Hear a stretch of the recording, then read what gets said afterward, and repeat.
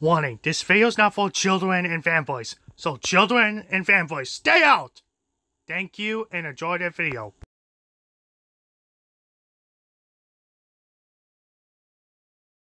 How is he, M? He's fine.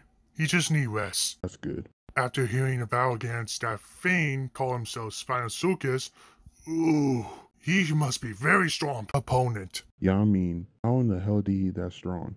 Well, he told me he and his former comrades used to work with humans, so maybe those humans gave him lots of nuclear energy. That's my guess. Could be. I mean, they did exact same thing to us 11 years ago. They even say were designed to defeat every kaiju, including Godzilla's. But I thought that was a long time ago. Why did he send him to attack us? Maybe they want to get rid of us. Could be, but let's put that aside now. Since Sky is resting on his bed, who's going to take care of him until he's healed? I'll do it.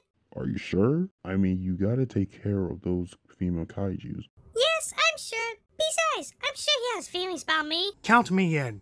After what I realize, I feel regret. Hey, come on, it wasn't your fault. You and your team didn't know. Yeah. Yeah, you're right.